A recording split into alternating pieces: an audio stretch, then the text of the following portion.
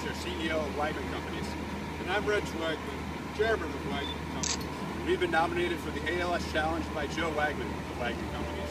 We accept the challenge, and I, in turn, I would like to nominate Bob Latham of APC and David Lyle from our Virginia office. And I'd like to nominate Pete Ruane of the American Road Transportation Builders Association. And before we begin, we'd like to let everyone know we have taken some safety precautions. So our guys are tied off up there, as well as the buckets. The rigging's been checked. So are you ready? Let's do it. Here we go! Woo!